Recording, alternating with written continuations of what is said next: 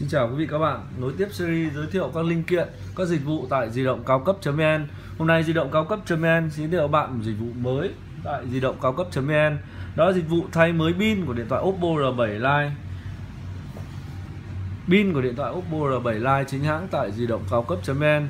Khi khách hàng sử dụng Oppo R7 Lite à, có nhu cầu thay mới pin của điện à, của điện thoại uh, dễ yêu của mình. Quý hàng vui lòng mang máy qua các địa chỉ của di động cao cấp.vn để được tư vấn hướng dẫn thay mới pin Oppo R7 Lite chính hãng với giá cực kỳ hấp dẫn.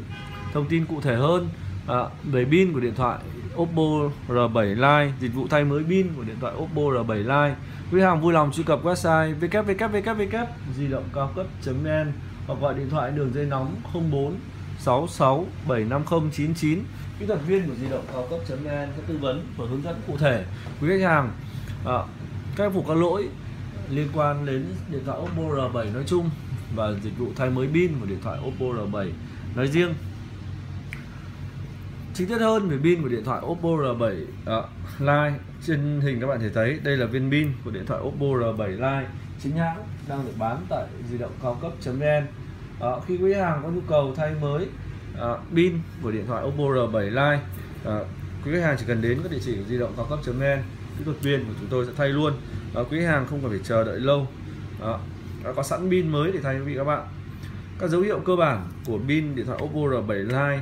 Lỗi nhận biết lỗi của điện pin của điện thoại Oppo R7 Lite. Ví dụ như pin bị phồng nó sẽ đẩy cái phần nắp lưng lên cao hơn nhiều hơn so với ban đầu. À, pin thì rất là nóng nhất là có trong quá trình sạc rất là nóng máy pin báo đầy thì chỉ cần gọi một cuộc điện thoại hoặc là chả cần phải gọi một cuộc điện thoại. Vào ứng dụng nặng thôi, máy tự động ờ, reset lại, sập nguồn, máy hay khởi động lại. Chả làm gì, máy cũng tự động reset lại. Đó là dấu hiệu cơ bản, báo hiệu pin của điện thoại Oppo L7 đã lỗi. Cần phải thay mới.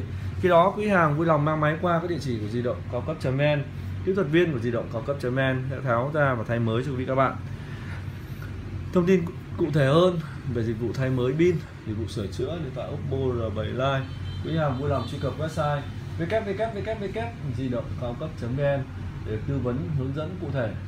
Xin cảm ơn quý vị các bạn đã xem video giới thiệu sản phẩm dịch vụ tại di động cao cấp.vn địa chỉ cung cấp dịch vụ sửa chữa bảo hành điện thoại Oppo R7 Lite hàng đầu hiện nay.